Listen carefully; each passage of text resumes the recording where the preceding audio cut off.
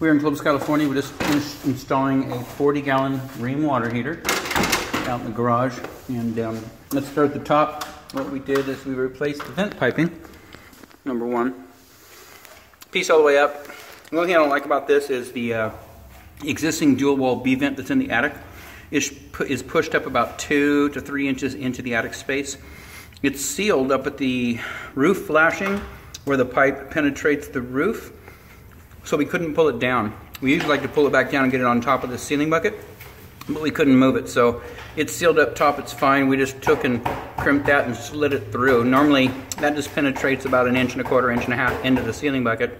It's up there about two to three inches. So anyways, piece of pipe is new, two offset 90s, brand new, and those are straight from Home Depot. And then the diverter, uh, draft diverter comes with the water heater. Uh, down the tank we've got a brass coupling and nipple on both sides. What we like to do on this is we've got uh, heat traps on the top of these nipples.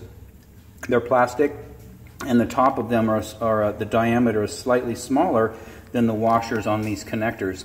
And so what happens is, is the washers kind of slip over the, the edges, and you get leaking, and you have to over tighten them. So we just spend about, I don't know, 10 bucks on each side for brass fittings. The reason we use brass is it flows very well.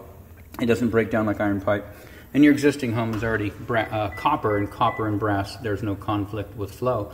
You don't get uh, any any uh, breaking down of the difference in metals. So, uh, anyway, so up here at the top, quarter turn ball valve, quarter turn off, quarter turn on, and that's a Watts ball valve, top of the line, brass, and then a brass nipple. Falcon stainless steel connector. It's three quarter by 15. It's a full 0.725 inside diameter. It's the biggest in the industry. We like these supply lines. Same thing over on the other side. There's already a copper male adapter in place there, so we just screwed a, another connector on there down to the tank, and that's a 15 as well. So right now, you can see, or I can see anyways, I don't know if you can see on the video, but no weeping, no dripping, no spraying, and that's good. So, but you do want to monitor this, you know, keep an eye on this stuff, come out occasionally, get up here and look at the tank. You know, look around here and make sure that you don't, you're not developing any water.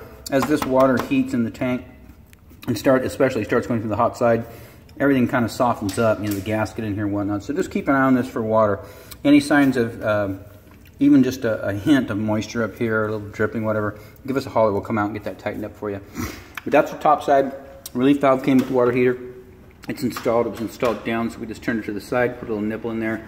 This never holds water, so another Falcon stainless steel connector over to the existing point of connection. That's a discharge line in the wall. This guy, technically you could pop this off once a year just to make sure it's working. It opens up and releases pressure and or temperature in the tank.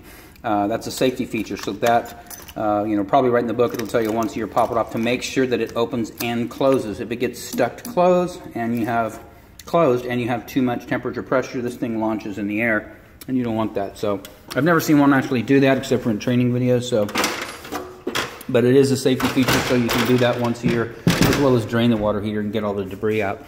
Upper third, we have the adjustable straps. Lower third, we have the adjustable straps. Down here, we've got the new um, corrugated supply line that goes over the control valve, so that's on. Pilot is lit, burner is on. We've got it on hot, which is approximately 120. Please adjust the water in the home according to your needs. I know you've got little ones in the home, and um, you want to make sure that you don't get too hot of water. You can read right here, scalding risk increases with hotter water. So make sure if you turn it up, you don't have any problems, uh, you know, with the little ones being around faucets and get scalded. So anyways, uh, everything that's good here outside of that, this installation is done.